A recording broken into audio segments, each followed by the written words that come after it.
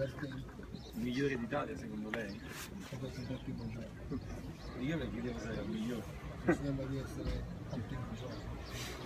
Vado avanti. è E eh, di carpente, poi hanno avuto